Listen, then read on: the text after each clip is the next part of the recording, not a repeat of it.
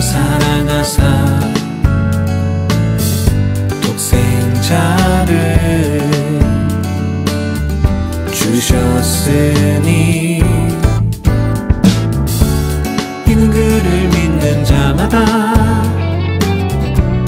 멸망하지 않고 영생을 얻게 하려 하심이라.